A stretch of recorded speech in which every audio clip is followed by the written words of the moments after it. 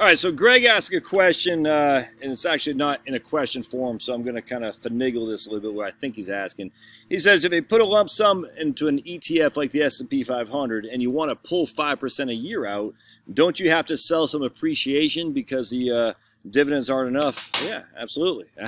absolutely, dude. And that, the drawback about ETFs actually is that you still have to make an actual transaction as well. So, like for instance, what is it? The market's just, uh, market's five minutes from closing. So right now, the uh, we'll just do VOO. Let's get a let's take a gander at what VOO is doing. All right, oops, not boo. Actually, is there a boo ticker?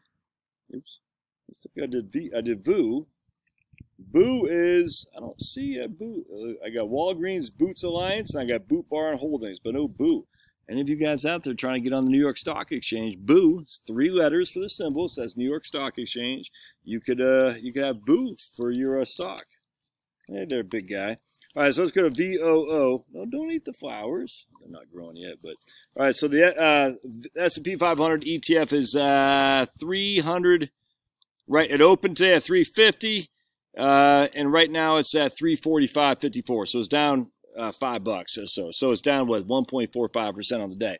So the drawback about the ETFs, you actually have to go there and transact uh, a, an executed trade to get your 5% out. So if you put in $100,000 $100, at three at the high at 350, uh, which is what it opened at, and now it's at 345, inherently you're down in value. So when you sell, you know, $5,000 worth of 100,000 bucks, inherently you're going to be selling more than 5% because the market took a dump. Um, now, on the other hand, same thing's going to happen to mutual fund. Just a mutual fund uh, trades once a day. All right, so the, the drawback about a mutual fund is you never really know what your price you're going to get. Um, and the reason for that is simple because you put an order in, it doesn't execute until close of business. So you can put an order in at freaking, you know, 10 o'clock in the morning, uh, and that sucker won't execute until 4. Now, the nice thing about it is that you can change your mind within the trading. You just go and cancel your order. Uh, another loudmouth. Pablo. He just hears a bird and he just starts going crazy.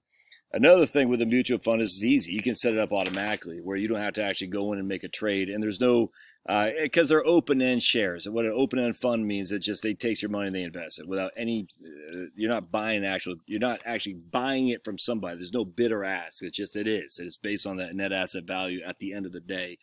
I don't want to get too deep, and that's kind of confusing. But mutual funds are easier uh, simply because you're saying, "Hey, look, man, you know, send me a check for five thousand bucks on March 1st every year." That simple or you can say send me a check for some i don't know if they'll let you do percentages. I'm not sure if they do that in mutual fund i don't know but you can still say hey 5000 bucks a year on $100000 now you won't get the high the dividend. You will have to take some of your principal. I don't get so many people are really anti taking principal out. I, I, I never really understood this. Um, it's a it's an odd uh, what's the word? Not dilemma. It's an odd way to look at your investments. I mean why i don't get why you don't want to touch the principal. I mean you're you're I, I get you want to live off your income and let your principal be, and I get there's emotional thought process in that. But I mean, if you need the money, you need the money. You take the principal out. I, I, I don't get this whole thing. I'm just going to live off my dividends.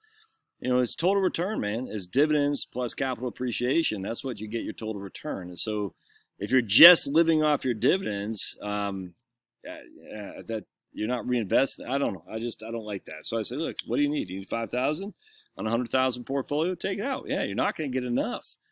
Now, the what a lot of people do, and I think there's a huge mistake, is I'm going to buy a higher yielding fund.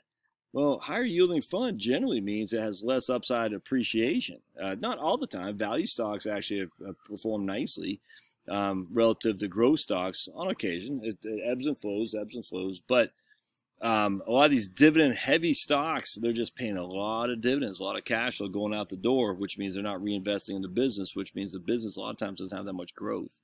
And so without much appreciation or growth, you're just living off the dividend. if that price starts sinking because of cash flow needs or they might have to cut the dividend, lots that could go wrong when you're buying a dividend heavy portfolio because you want to juice your the money you're getting back from the company. I, I don't like that at all. I so yeah, I just I don't think you should do that. But you know, everyone has to do their own thing. I just for me, I'm like, man, just you need five thousand, you got a hundred thousand in there.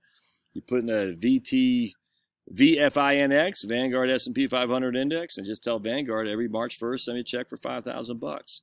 And they'll say okay, and they'll be automatically traded. You don't have to do anything with an ETF. You can't do that. I guess you could put, I don't know, can you put a future order that far in? An open order? With I, I don't know how, I don't think so. I guess it'd have to be a, a limit order, and that might not get executed. So anyway, if I'm if I'm going to take money out on a regular basis, I'm just buying a mutual fund. Right, hope this helps. We'll see you.